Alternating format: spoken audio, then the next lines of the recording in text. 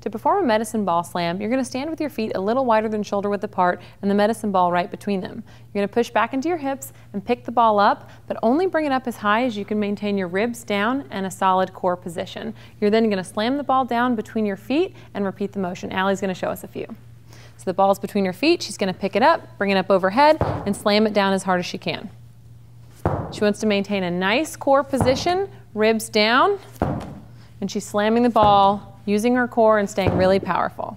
Those were awesome, Allie. Good job.